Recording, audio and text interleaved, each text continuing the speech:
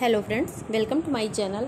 आज हम आपके साथ आम के पना की रेसिपी शेयर कर रहे हैं, जो बनाने में बहुत इजी है और गर्मियों के लिए ये बहुत ही अच्छी रेसिपी है।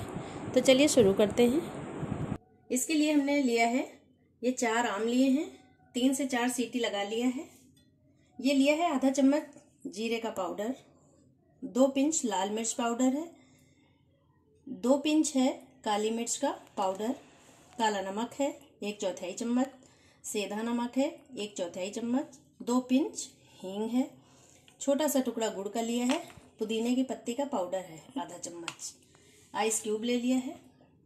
सबसे पहले हम आम का छिलका हटा लेंगे। इसके छिलके हमने उतार लिए हैं। ये जो छिलके हैं, इसमें डाल देंगे आधा कप पानी और जो इसमें अंदर गूदा लगा हुआ है, हल्के से मैश कर लेंगे।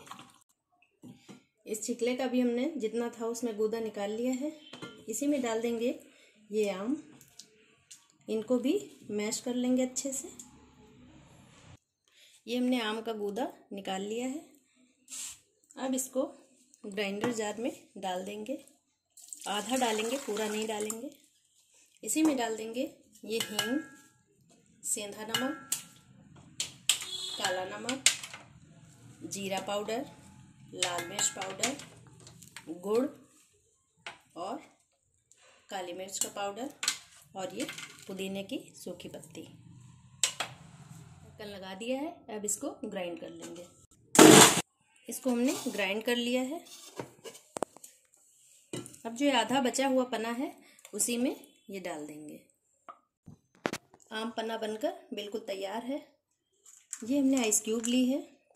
डाल देंगे ग्लास में पहले। अब इसी में ये पना डाल देंगे। इस तरह से बनाने में बहुत जल्दी बन जाता है और गर्मियों के लिए बहुत ही अच्छी रेसिपी है ये। इस तरह से ट्राई ज़रूर करें। अगर वीडियो अच्छी लगी हो तो लाइक करें शेयर करें सब्सक्राइब करना ना भूलें। साथ ही बेल आइकन पर भी प्रेस कर दें। Thanks for watching bye bye